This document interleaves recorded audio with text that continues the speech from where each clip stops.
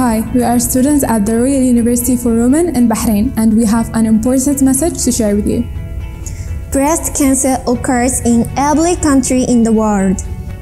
Breast cancer is one of the most common cancers among women.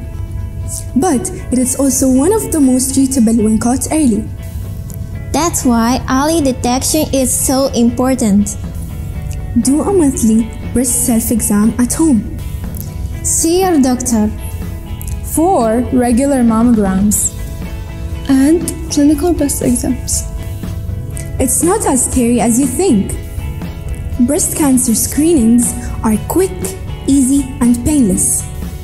Do not let fear or lack of knowledge stop you from getting early cancer detection. Together we can beat breast cancer. Get screened now of hassle on.